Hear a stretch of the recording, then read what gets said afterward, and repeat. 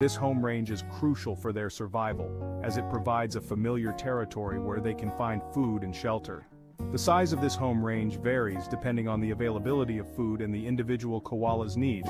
In areas where food is abundant, a koala's home range may be smaller, while in regions with less food, they may need to cover a larger area. Within their home range, koalas establish their territory, marked by scent and communicated through a range of vocalizations, including grunts, bellows, and squeaks. These sounds help them communicate with other koalas and establish their presence in the area. Eucalyptus forests are not uniform environments. They consist of various species of eucalyptus trees, each adapted to different soil types, climates, and altitudes. Different species of eucalyptus trees thrive in different areas, and koalas have their preferences. Some koalas may prefer the leaves of one species over another, depending on the nutritional content and taste. Some koalas are known to favor certain eucalyptus species while others are more adaptable.